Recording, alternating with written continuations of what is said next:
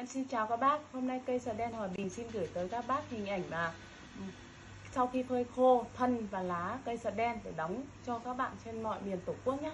Thì hôm nay đây là công việc của một buổi chiều của mình. Đóng được à, rất là nhiều túi và để chuẩn bị gửi cho các bạn vào buổi sáng ngày hôm nay.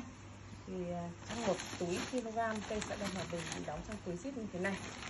Đây là lá cây sợi đen mà mình đã phơi khô tách riêng lá này để đảm bảo khi Ờ, khô rồi mà lá nó vẫn còn nguyên và xanh, đẹp, đảm bảo dược tính của cây. Dạ đen còn đây là phần thân mà mình tách riêng. Khi phơi khô rồi, gửi cho các bạn thì mình sẽ trộn đều tỷ lệ cả lá cả thân vào với nhau để đóng trong một túi đầy như thế này là một kg.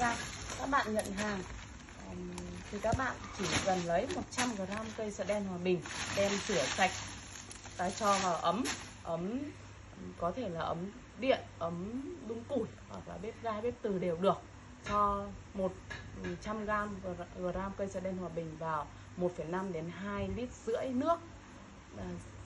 Các bạn đun sôi 5 đến 10 phút để xuống nguội ấm ấm là có thể sử dụng làm nước lọc hàng ngày. Đấy.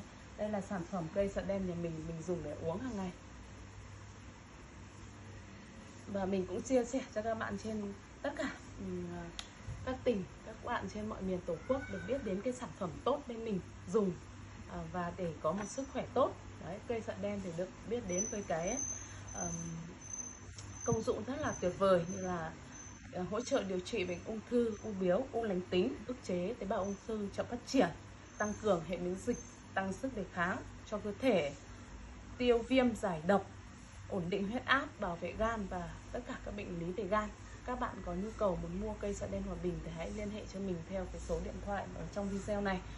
Bên mình đang có cái chương trình ưu đãi là mua 1 kg cây sợi đen hòa bình được tặng 0,5 kg. Mua 5 kg cây sợi đen hòa bình được tặng 1 kg. Các bạn để lại số điện thoại bên dưới video thì mình sẽ gọi điện lại tư vấn cụ thể nhiệt tình tận tâm miễn phí cho các bạn nhé. Thì à, bên mình hiện đang thì à, có cái số lượng cây sợi đen từ lẻ đến số lượng rất là lớn và nhận đóng hàng theo cầu, từ khách lẻ đến khách xỉ các bạn có nhu cầu thì hãy liên hệ cho mình nhé. Vậy xin chào và tạm biệt các bạn.